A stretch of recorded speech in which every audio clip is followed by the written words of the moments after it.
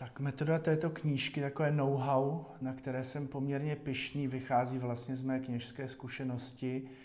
Vidím kolem sebe mnoho krásných věcí, ale ty příběhy za nimi už neznáme a to je strašná škoda.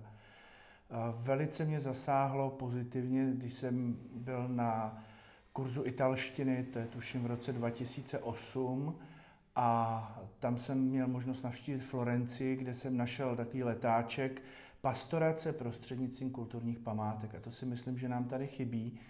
A tak vlastně všechny ty zkušenosti, které mám, ať pastorační, nebo takové zájmové, řekněme, protože mě opravdu umění zajímá, tak jsem se v tom snažil zúročit.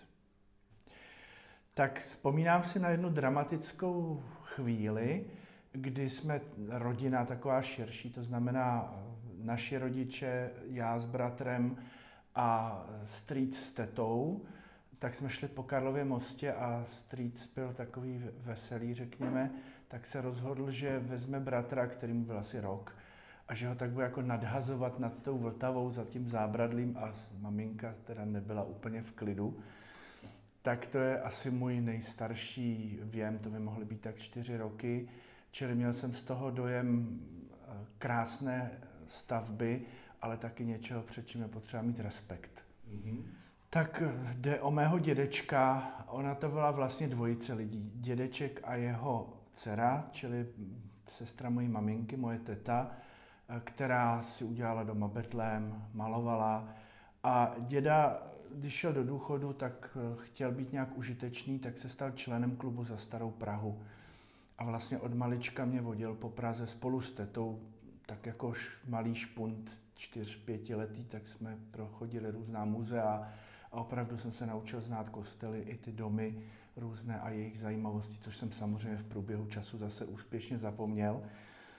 Ale e, vzpomenuli si na Prahu a na její krásu, tak vlastně ten první podprahový věm je vděčnost mému dědečkovi, který potom zemřel, když mi bylo 13 let, velmi náhle a lituju toho, protože si myslím, že jsem od něj mohl ještě mnoho získat.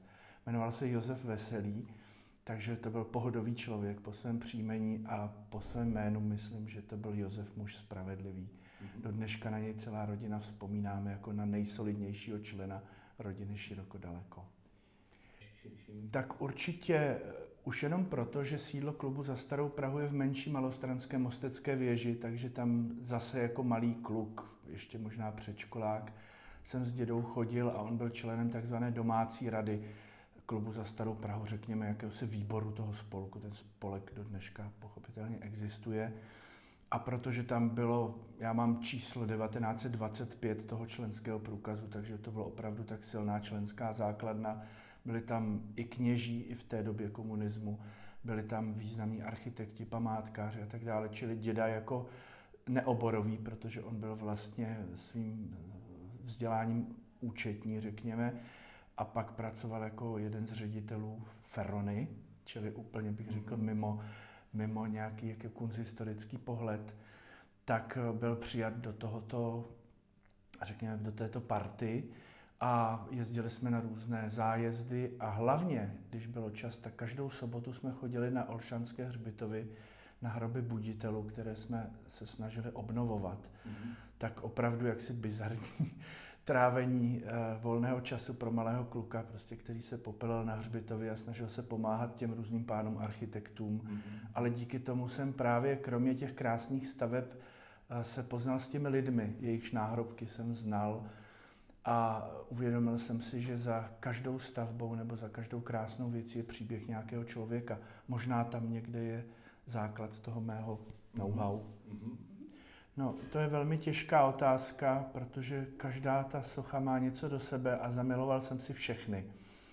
Ale dejme tomu, z uměleckého hlediska je to svatá Luitgarda, to je opravdu eh, skvost a i když na mostě je kopie, tak přece si dovedeme představit to novátorství, kdy to je vlastně zachycení nějakého intimního interního prožitku v kameni, což bylo i ve své době velkým zjevením a projevovalo se tím, že třeba vznikaly rytiny a následné jaksi, kopie těch, tohoto výjevu a, a stávaly se i devočními kopiemi.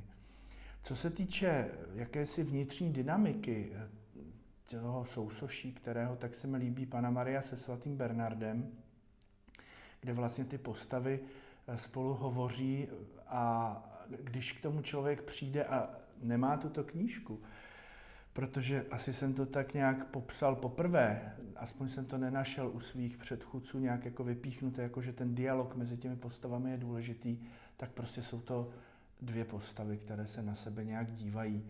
Ale když si přečteme ten příběh zatím, který je skrytý v takovém poměrně šifrovaném latinském nápisu pod, tom, pod těmi sochami, tak vidíme, že ty sochy ožívají. A to se mně líbí, že to není jenom dekorace, ale že tam je opravdu živý příběh a u těch některých barokních soch je to opravdu drama, řekněme, nebo minimálně jakýsi dynamický rozhovor.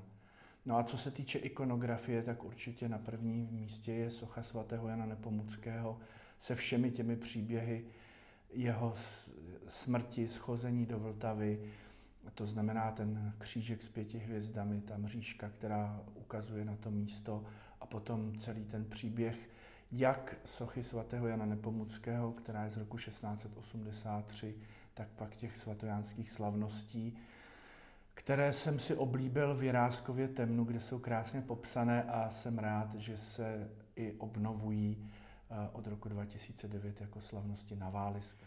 Je to neotřelý pohled eh, na ty skutečnosti, které můžeme vidět různým způsobem. Abych se přiznal, nemám příliš rád takové ty celkové fotografie, protože to je podle mě ten otřelý pohled, i když ukazuje se, že tomu až tak není a že to je možná těžší disciplína než ten detail. Ale podívat se na tu sochu nějakým způsobem neotřele a zprostředkovat vlastně svůj vlastní vnitřní pohled a vidění, tak to je to, co mě baví. A samozřejmě mám radost té krásy, se kterou se setkávám a i z určité technické dokonalosti, kterou dnešní fotoaparáty a další možnosti přinášejí, protože jsem tak trochu hračička.